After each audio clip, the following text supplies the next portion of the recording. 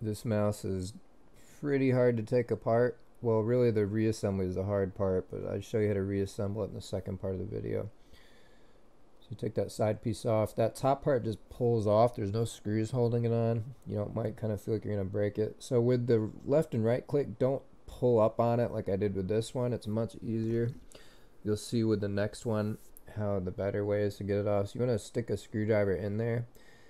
And there's those little tabs that go into holes on each side and you want to push them towards the center to get it out of the hole and then the, the button will just lift up. And I'll show it to you here in a second.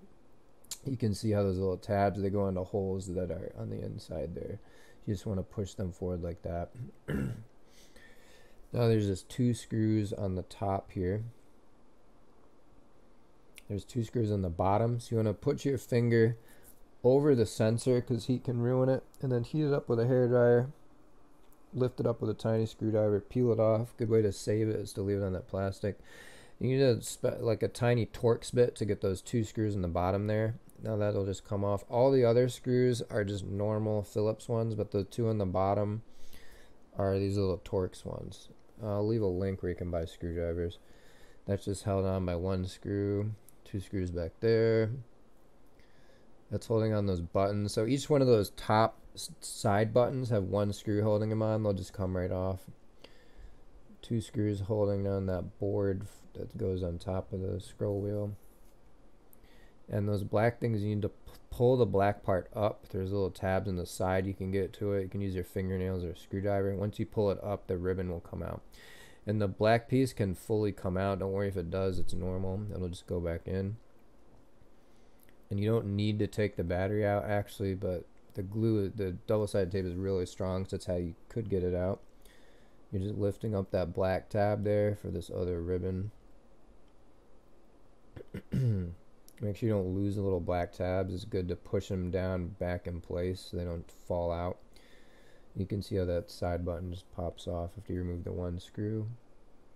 And there's three screws uh, around the scroll wheel holding down that board If you do take the battery off, you can just reuse that this sticky tape. That's how you take the scroll wheel out. I think there's four screws holding down this board.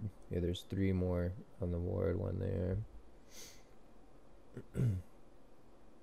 one there. And that one in the back. There's three screws holding down that sideboard. That bottom one will just come out now you can slide that piece out.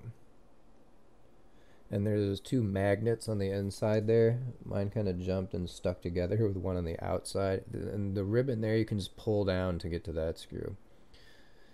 And there's a screw on the bottom that's really hard to get to. I had to take the little thing out of the screwdriver to reach it. Uh, you'll see in the reassembly part and actually it's easier to get that piece off. Wait till you remove this part like that and then take that piece off. You don't need to cram it out. And then those things you just pop the little tab that holds it in place. And then the button will come out like that. You need to like kind of push the tab forward with a screwdriver so you can get that little rectangle hole out. And there's one screw holding in the, the lighting thing and that's pretty much it. I put all the screws on tape like that, labeled it front to back. Better a magnetic tray, but I was using all my magnetic trays. So here's the reassembly.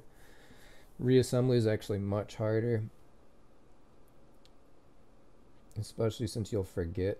Like I had this mouse taken apart for about a month. This, you yeah, that tab is there? When putting the buttons back, so to get them to really go in place, you have to push it down over the tab, but then push it up towards the top of the mouse to really get to sit and make sure the buttons like work and move. Now you want to put that part in place and hold it in place while you put this down on the base. You don't want to try to put it in after you get the base down. Make sure the little tabs and stuff all go into place like that one there and there's a bunch of stuff on the bottom. Make sure it all lines up on like every edge all around the bottom. So that screw there I forgot to put it until later but you can it's better to put it in now and a screw going down a deep crevice, a good little trick, you can dip the screwdriver in some sticky stuff to get the screw to stick to it. You can put in that sideboard, the screw, three screws. These are the, the smaller flat screws you want to use here, not the bigger, longer ones. Get those three screws in place. That was a little side one I was talking about. I had to remove the bit from the screwdriver and use a really short one. Now put the four screws holding in the base. Those are the bigger, longer screws. you can see how the scroll wheel goes back in. You pop that, that end of the scroll wheel down, it'll click in place, and then put the little black thing over it to hold it there. Make sure it clicks and spins. There you can see how the rubber can come off. You can change the rubber. So you can buy these rings that are meant for your fingers. I'll leave a link. You can change them to a bunch of different colors. So slide that piece in place. You want to put one of the magnets in. If you try to put both in, they'll slide together. So put one magnet in. Put one of the side pieces on. Then put the second magnet in. And just make sure the magnets are sitting in their little thing correctly. You'll see. Put that part in you see that like rectangular hole lines up over the right click switch then you can plug in the battery can plug in that part you can see how the black one came off in mine there's like a longer piece of the black one you want to put that in first from kind of the one side there's three screws that hold this down in place before you go putting that piece over the scroll wheel put those three screws down first now that part goes under the scroll wheel, or kind of on the inside of the scroll wheel. And there's those two screws. They're the smaller flat screws that you want to use for this board here. That little tab that sticks out goes in the inside of the scroll wheel, is trying to say.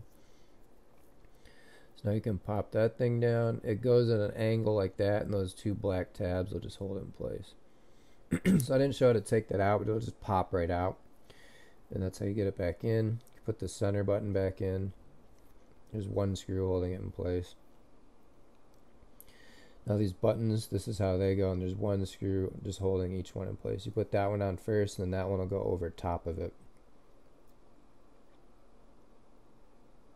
And now there's two tabs in the front that this piece needs to go under, if you look at the front part there. And then that tab needs to go between and under those two side buttons. Now there's two screws, and they're the two smaller flat screws that go on the top there. Make sure the buttons click down correctly. Make sure they all work. Good idea to turn the mouse on. Use it with your computer. Make sure all the buttons work. Those two top ones are number one and two, so you can bring up a Word document to test them. Now put those two in place. That one you have to kind of slide back and make sure that groove the gets under. Uh, make sure the little tab on the inside of the mouse gets in that groove. You'll see. Turn it on again. Make sure everything works that top part you're just gonna have to push it down in place. Don't push too hard make sure you don't break anything. Kind of look in it make sure all the tabs line up in the holes they're supposed to go in. This next piece is a little tricky. There's two tabs on the side. You have to make sure that the grooves go into the holes in the sides first. Really look and make sure and then you just push it from the center back. So now those two Torx bit screws go on the bottom there. Put that on and then I like to heat it up with a hair dryer again push down on it really hard and slide around on the mouse to flatten it out. And I'll probably make another video for the painting. 19.